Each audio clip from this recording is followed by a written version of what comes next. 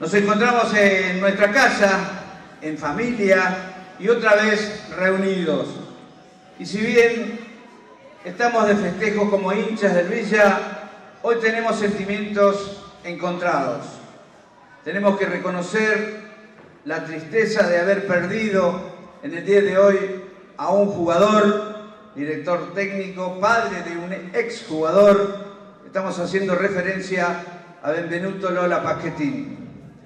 Como se le terminó el partido en la cancha de la vida, le agradecemos todo lo que ha dado por esta institución y lo despedimos con un sincero aplauso y muchas gracias, Lola.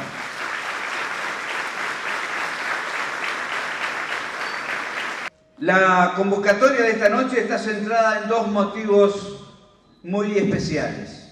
El primero de ellos es un nuevo aniversario, el número 83 de esta querida institución que en su larga vida ha sabido entender y comprender las necesidades de sus socios, dándoles espacio para la práctica de distintas disciplinas deportivas o simplemente para que las apoyen, como han sido las bochas, el vóley, la gimnasia artística y en los nuevos tiempos el hockey, el taekwondo, el tenis, por nombrar algunas.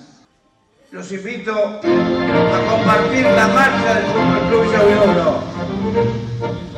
Con decisa actitud de valores que a la meta hacían llegar, intimaron a sus corazones la consigna de siempre avanzar, de los besos volantines, de gastar con sus amores, sale luna y clamores, partida por cruz, sale luna y clamores, partida Pero el fútbol es la disciplina que nos dio el nombre y es por eso que la dejamos para el último.